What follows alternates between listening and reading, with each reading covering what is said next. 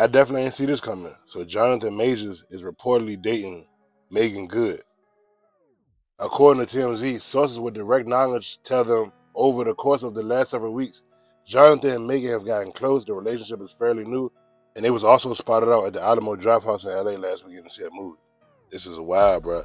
People saying that he doing this to change his image because, of course, when he got arrested and lost his production company and they said certain movies were scrapped, it was because they said he was putting his hand on a white girl who was his girlfriend at the time, and they said that he twisted her arm, he shoved her in the car, he smacked her, and it's all because she was going through his phone. And of course, when it's something like this involving a black actor and a white woman, the media gonna make it bigger than what it is. Like they gonna make it seem like he beat the shit out of her.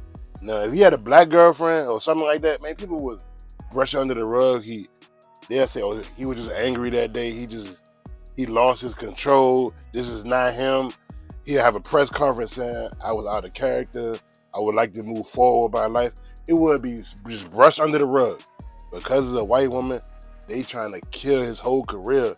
And it's the same thing that happened with the actor Jason Mitchell about three, four years ago. The actor that played Easy E.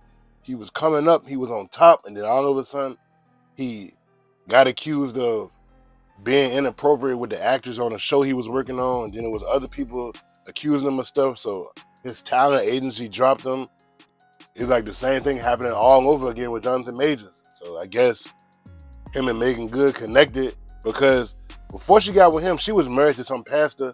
I'm not sure like what she was doing as far as movies.